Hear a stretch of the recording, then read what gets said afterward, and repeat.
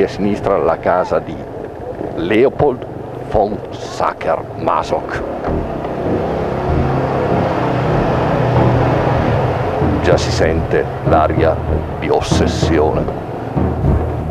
Figlio di un gendarme e di una nobildonna che l'ha fatto allevare da una nutrice russa per dargli vigore, qui ha sviluppato le sue fantasie infantili, che sono quelle che poi, quando è diventato romanziere, l'hanno ispirato.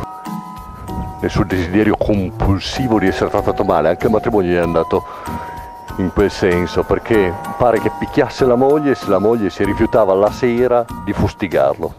Da questo cortile è iniziata una storia, un modo di vedere che ha fatto il giro del mondo dando un nome a un comportamento che a tratti ci riguarda tutti.